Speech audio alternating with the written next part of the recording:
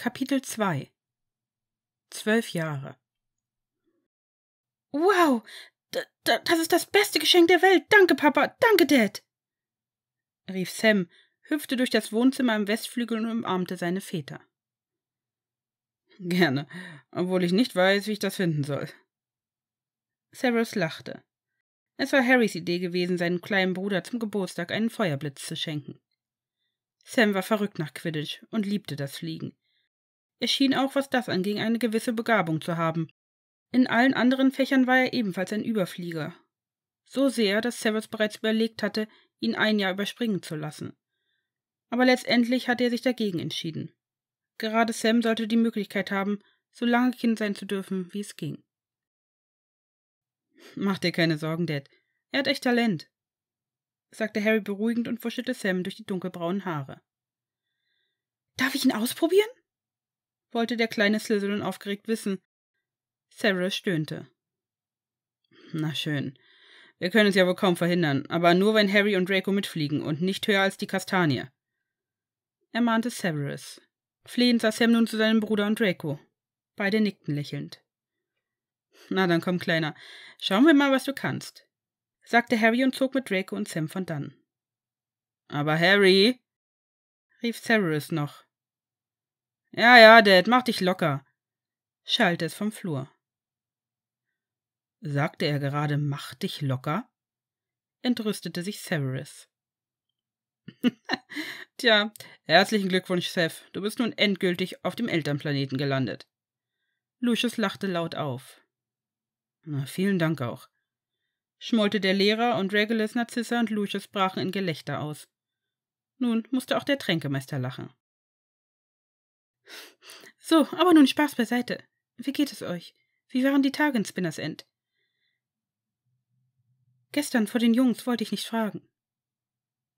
Fragend sah Narcissa zu Regulus und Severus, während sie Cedric und Arthur sanft wiegte. Die beiden Männer sahen sich kurz an. Severus seufzte und nahm einen Schluck Tee, ehe er sprach. Sam geht es wirklich gut. Er hat eine Weile gebraucht, aber langsam taut er endgültig auf. Er schläft inzwischen ruhiger. Das kam auch Rack und mir zugute. Er schlief nämlich zwischen uns.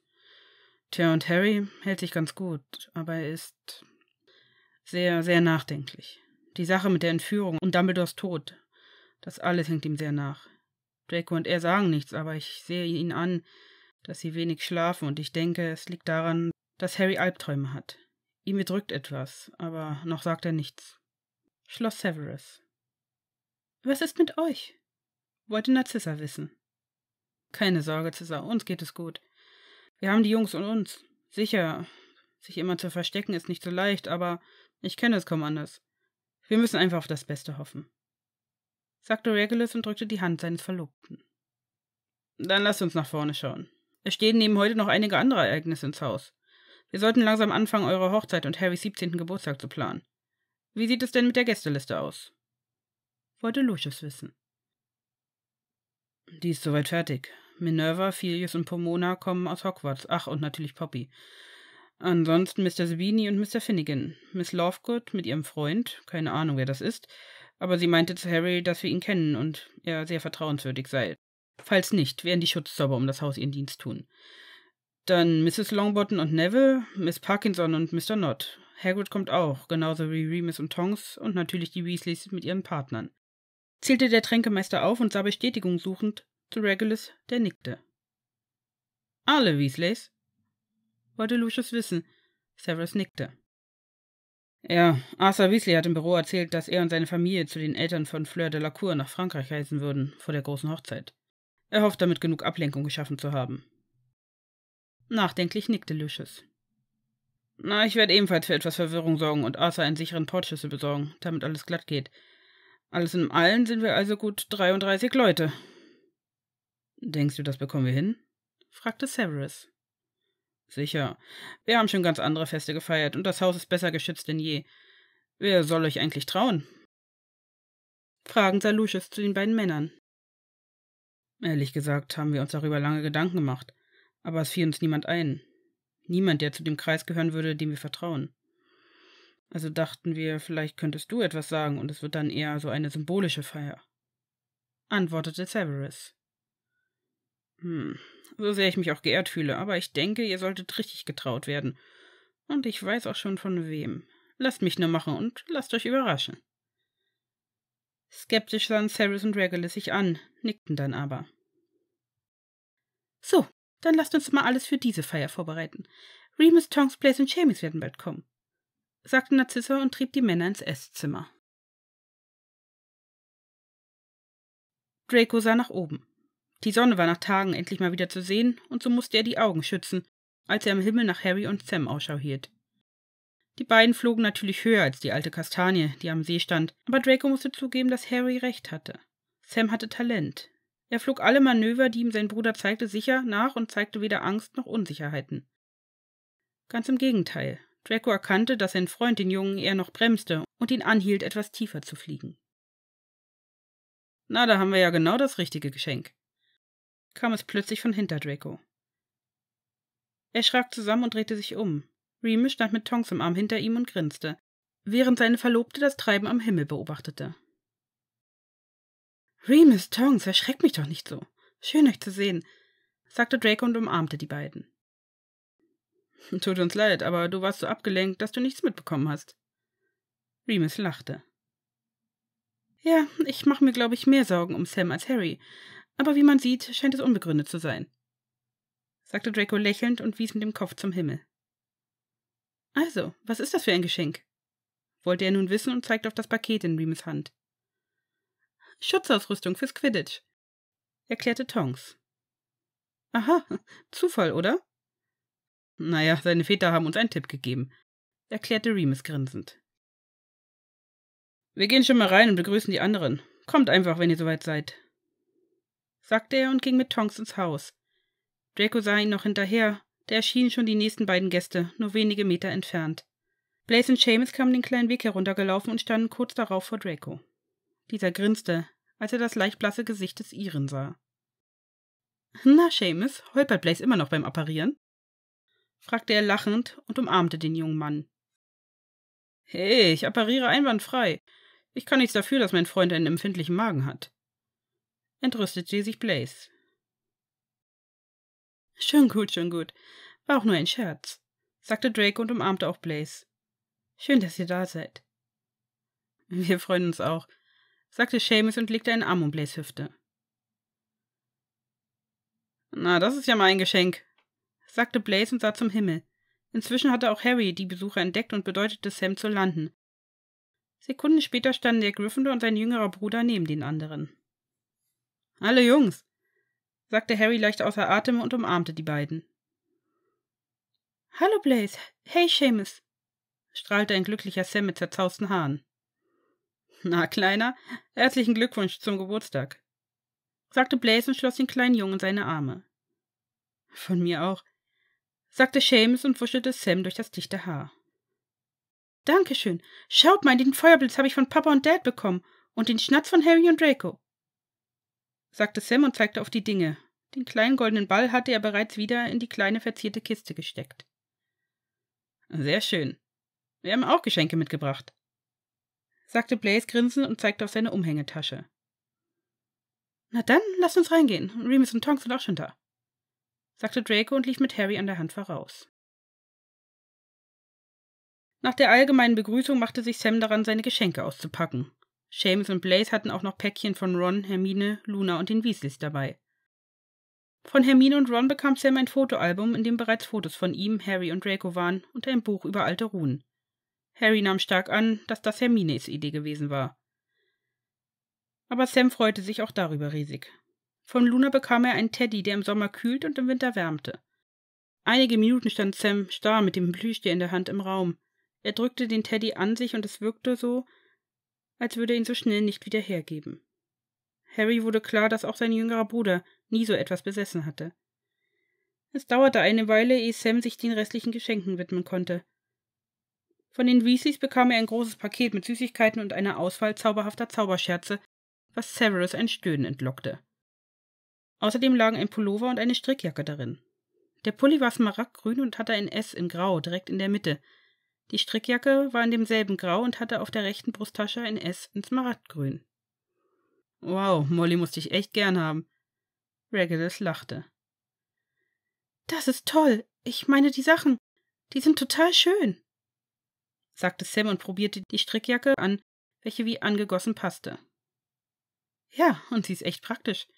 Es kann Sam heißen oder auch Slytherin, sagte Draco und zeigte auf das S. Dann waren Remus und Tonks an der Reihe. Ihr Geschenk entlockte Sam einen Jubelschrei. Die Quidditch-Sachen zog er sofort an. Heißt das, dass ich in der Mannschaft spielen darf, wenn ich es schaffe? Beinahe schon flehend sah er zu seinen Vätern. Na, wir wissen, wie sehr du dir das wünschst, und wenn du schon spielst, dann sicher, sagte Severus und fand sich genau wie Regulus kurz darauf in einer festen Umarmung wieder. So, jetzt sind wir dran, sagte Blaze und übergab dem Jungen ihr Paket. Darin war ein Besenpflegeset. Danke, danke, danke, schrie Sam und drückte den Holzkoffer an sich. Irritiert sah Severus zu den beiden Jungen. Gut geraten? fragte er. Blaze zuckte mit den Schultern. Sam redet von kaum was anderem als dem Fliegen. Da dachte ich, ihr würdet schon nicht so grausam sein und ihm keinen schenken, sagte Blaze grinsend. So, so, sagte der Tränkemeister, konnte sich aber ein Lächeln auch nicht verkneifen. Nach dem Geburtstagsessen setzten sich alle in den großen Garten des Männers. Es roch nach Rosen und Lavendel. Lampions schwebten umher und ein Feuer brannte. Draco war mit Blaze und Seamus verschwunden und Harry saß unweit der Gruppe unter einer Kastanie. Sam hockte direkt unter einem Lampion und las in dem Buch, welches ihm Ron und Hermine geschenkt hatten. Sammy, du machst dir die Augen kaputt, wenn du bei diesem Licht liest. Er mahnte Regulus seinen Sohn, doch dieser war so vertieft, dass er nicht reagierte. Seufzend richtete der Heiler seinen Zauberstab auf den Lampion und sofort strahlte dieser etwas heller. Ob er in den Klamotten schlafen wird? fragte Tonks lachend. Ja, ziemlich sicher, und mit dem Besen. Zum Glück hat er inzwischen sein eigenes Bett, sagte Severus und sah zu seinem Jüngsten. So, und nun erzählt mal, was gibt es bei euch Neues? sagte Narzissa und sah zu dem Werwolf. Der sah schnell zu seiner Verlobten, die lächelnd nickte. Äh, also, ähm, ich werd Vater, stotterte Remus. Was? Oh, wir freuen uns für euch sagte Narzissa und umarmte die beiden. Auch Regulus, Severus und Lucius schlossen sich ihren Glückwünschen an. Wann ist es soweit? wollte Regulus wissen. Erst Ende März nächsten Jahr. Aber mein Verlobter kann jetzt schon kaum schlafen, sagte Tonks und drückte Remus Hand. Hey, das ist mein erstes Kind und ich bin nicht mehr der Jüngste, sagte dieser entschuldigend. Na, na, Remus, du bist genau wie ich erst 37 und sicher nicht zu alt für ein Baby, sagte der Tränkemeister lächelnd. Ja, und was soll ich sagen? Ich bin 43 und meine Jüngsten sind noch nicht ganz drei Monate alt, warf Lucius ein. Na, du hast leicht reden. Immerhin hast du schon einen Sohn großgezogen und Seth, deine Söhne sind zwölf und fast siebzehn und aus dem Gröbsten raus, sagte Remus gespielt ernst. Ja, aber deshalb machen wir uns nicht weniger Sorgen sagte Cyrus nachdenklich. Und wenn alle Stricke reißen, hast du noch deine 25-jährige Verlobte, sagte nun Narcissa lachend. Ja, vielen Dank auch, schmollte Remus. Alles gut, Opa. Ich lieb dich auch mit grauen Haaren, flüsterte Tongs und küsste den Werwolf. Fällst du mir in den Rücken? Nein, nie, sagte die Hexe und grinste. Ich schau mal, was Harry macht sagte Remus, stand auf und lief in Richtung Kastanie. Oh, oh, ist er jetzt beleidigt? Fragen sah Lucius zu Tonks, aber diese schüttelte den Kopf. Alles gut. Vor ein paar Tagen waren wir einkaufen und eine Verkäuferin dachte, ich sei seine Tochter. Allerdings war die gute Frau sicher schon siebzig und ihre Brillengläser nachzuurteilen fast blind. Aber das hat an seinem Selbstvertrauen gekratzt. Macht euch keinen Kopf. Seit wir das mit der Schwangerschaft wissen, ist er etwas empfindlich. Remus lief um die Rosenbüsche hinunter zum See. Der Halbmond tauchte alles in ein weiches Licht. Harry saß unter der Kastanie und blickte auf den See. Darf ich? fragte Remus, als er neben dem Gryffindor stand. Dieser fuhr herum. Oh, Remus, klar, setz dich, sagte Harry. Wo stecken denn die anderen? fragte Remus, nachdem er sich in das Gras neben Harry gesetzt hatte. Draco zeigt Blaze und Seamus irgendwas im Haus, erklärte Harry und wies hinter sich. Und du? Ähm, weiß nicht. Ich wollte, glaube ich, einfach etwas allein sein, sagte Harry nachdenklich. Soll ich gehen? wollte Remus wissen, aber Harry schüttelte schnell den Kopf. Nein, bitte bleib. Eine Zeit schwiegen sie und hörten nur das Plätschern des Wassers und das Zirpen der Grillen in der Ferne. Hm, wie geht's dir? wollte Remus nach einer Weile wissen. Harry zuckte mit den Schultern. Weiß nicht. Ich schlaf schlecht. Ich dachte eigentlich, die Albträume und Panikattacken seien vorbei, aber im Moment ist es fast so wie vor einem Jahr. Nur, dass ich jetzt eine Familie habe, die mich aufhängt. Gequält sah Harry zu Remus. Dieser legte ihm eine Hand auf den Unterarm. Hör zu, Harry. Das, was vor den Ferien passiert ist, war nicht deine Schuld. Du hast Matt als Erinnerung gesehen, du weißt, dass Dumbledore es wollte. Erklärte er. Ja, ich weiß, aber es ist. Ach, es ist einfach unfair. Er lässt mich allein mit dieser. Harry brach ab und schüttelte den Kopf. Du gehst nicht zurück, oder? Fragend sah Remus ihn an. Harry sah aufs Wasser und schüttelte den Kopf. Ich kann nicht. Draco und ich, wir werden die restlichen Horcruxe suchen. Der Krieg wird nie enden, wenn wir das nicht tun. Lass mich raten, deine Väter wissen noch nichts davon. Wieder schüttelte Harry den Kopf. Ich will ihnen die Hochzeit nicht verderben. Sie würden es uns ohnehin ausreden wollen. Ich glaube aber, Dad denkt sowieso darüber nach, Draco, Sam und mich nicht wieder zurückzuschicken. Was ist mit Draco? Wollte Remus nun wissen. Er steht zu mir und will mich begleiten. Eigentlich wollte ich allein gehen, aber. Aber das würde er nie zulassen. Beendete Remus Harrys Satz. Der junge Mann nickte lächelnd. Rückblick? Zweiter Tag in Spinners End. Harry erwachte früh. Regen und Wind peitschten gegen die Fenster des kleinen Hauses. Draco neben ihm schlief noch. Der Gryffindor setzte sich auf, griff nach seiner Brille und schwang die Beine aus dem Bett. Er trat an das Fenster und sah nach draußen. Unten auf der Straße war um diese Uhrzeit kein Mensch. Trotz allem fühlte er sich verfolgt. Seit Dumbledores Tod schlief er schlecht und kämpfte immer wieder mit aufkeimender Panik. Schon wach? kam es fragend vom Bett. Harry wandte sich um. Draco saß da und rieb sich die Augen. Der Gryffindor trat vom Fenster weg und setzte sich zu seinem Freund. Es geht mir zu viel im Kopf rum, sagte er. Ja, das merkt man. Mir geht es ähnlich, sagte Draco und küsste Harry sanft auf die Lippen. Dre, ich kann nicht zurück nach Hogwarts. Ich muss die restlichen Horcruxe suchen, sagte Harry nun schnell und vermied dem Slytherin in die Augen zu sehen. Dieser nickte. Ja, sowas dachte ich mir schon. Aber nicht ohne mich. Wir machen das zusammen. Oder dachtest du, ich sitze in Hogwarts, während du allein durch die Welt ziehst? Dway, ich will nicht, dass dir was passiert. Ich. Stopp! Harry James Potter Snape. Dieses Thema hatten wir schon. Ich bin ein großer Junge und kann auf mich aufpassen. Und glaubst du, dass wir lange ohne den jeweiligen anderen klarkommen würden? Harry seufzte und legte seinen Kopf auf Dracos Schoß. Dieser strich ihm durch die schwarzen Haare. Wir schaffen es, oder? fragte Harry. Sicher, mach dir keine Sorgen. Wir müssen, sagte Draco und küsste Harry auf den Kopf. Rückblick Ende. Er liebt dich. Es ist klar, dass er dich nicht allein lassen wird, sagte Remus. Ja, aber er hat schon so viele Opfer bringen müssen, seit wir zusammen sind.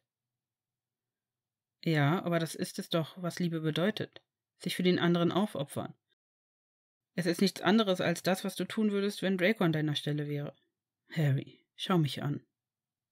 Bat Remus und Harry sah auf.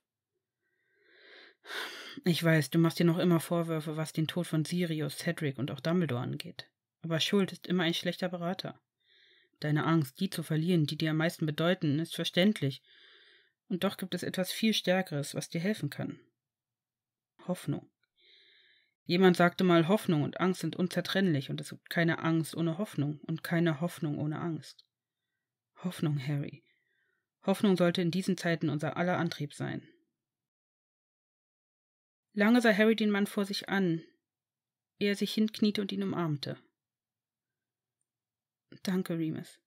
Machst du dir wirklich Sorgen, dass du ein schlechter Vater wirst? Ich glaube, diese Angst ist ähnlich unbegründet. sagte er dann und lächelte. Überrascht sah Remus ihn an. Du weißt davon? Harry nickte. Tonks hat es mir vorhin erzählt. Ich freue mich für euch. Danke. Vielleicht hast du recht und vielleicht ist es für uns beide an der Zeit, endlich zu lernen, dass wir nicht mehr allein sind. sagte der Werwolf und wandte sich zu der Gruppe um, die redend und lachend um das Feuer saß.